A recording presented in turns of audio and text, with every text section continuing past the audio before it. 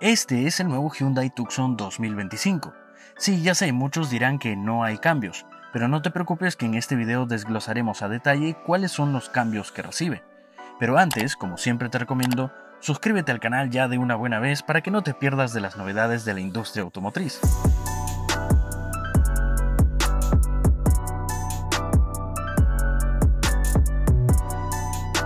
Para los que no lo sabían, la cuarta generación del Hyundai Tucson se presentó a finales del 2020 y nosotros lo manejamos en 2021. Tres años después, específicamente en noviembre del 2023, la marca presentó una actualización de mitad de vida o facelift. Noten que ahora el nuevo Tucson tiene trazos un poco más rectos en la máscara. La zona esculpida en donde van los faros de proyección ahora es más recta y cuadrada que antes. Lo mismo sucede con el contorno de la parrilla, que ya no tiene tanta inclinación. La geometría de los faros cambia levemente, al igual que el patrón de la parrilla, pero lo que no cambia es que los faros aún se mimetizan en la parrilla cuando están totalmente apagados, detalle característico de este Tucson. Por el lateral, normalmente en una actualización no hay grandes cambios, más que un nuevo diseño para los aros. Mientras tanto, en la parte posterior prácticamente tampoco hay cambios, los faros se mantienen iguales y lo único que ha sido rediseñado es el paragolpes.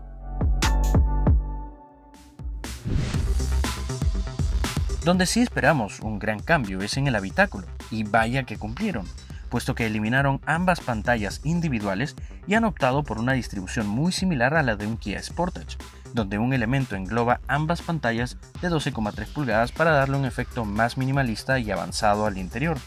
El volante es completamente nuevo y heredado de modelos como el Kona o Ioniq, ya no luce el logo de la marca. El panel táctil de la climatización se ha renovado, mientras que el pomo de la palanca de cambios ha sido eliminado, y en su lugar tenemos un enorme espacio en la consola central que tiene doble nivel para guardar más de nuestros objetos. Aquí se ubica un cargador inalámbrico, posavasos y enfrente por debajo del climatizador algunos puertos USB. Y ahora, ¿a dónde se fue la palanca de cambios? Muy simple, justo detrás del volante, anclado a la columna de dirección, una solución que habíamos visto en el nuevo Kona. Definitivamente es un interior mejor resuelto, más práctico, elegante y tecnológico. Una excelente evolución para mantener al Tucson actualizado y listo para rivalizar con su primo hermano.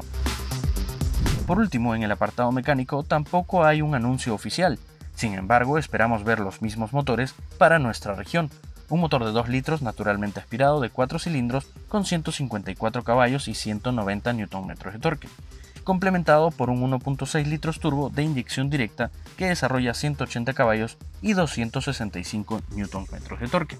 El primer motor asociado a una caja mecánica de 6 velocidades o una automática de 6 marchas, mientras que el motor turbo va asociado únicamente a una transmisión automática de doble embrague y 7 relaciones. Sin embargo, no se descarta la llegada de una variante con paquete N-Line para agregarle un poco de picante a la oferta de este exitoso SUV.